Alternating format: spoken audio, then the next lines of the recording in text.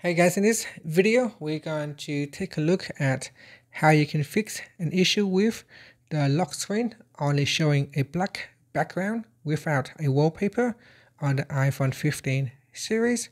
Now you can see in here, I have a black background. It's supposed to show uh, a wallpaper.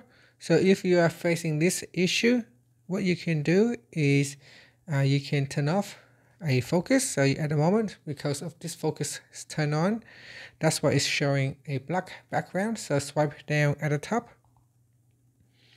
Then tap on focus and switch it off. And now you can see on the background, it has a background wallpaper.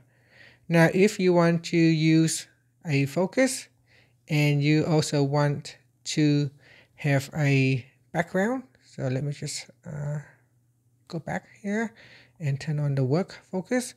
Now, if you want to use a focus, but you also want to have a, a background wallpaper, then what you can do is go into settings.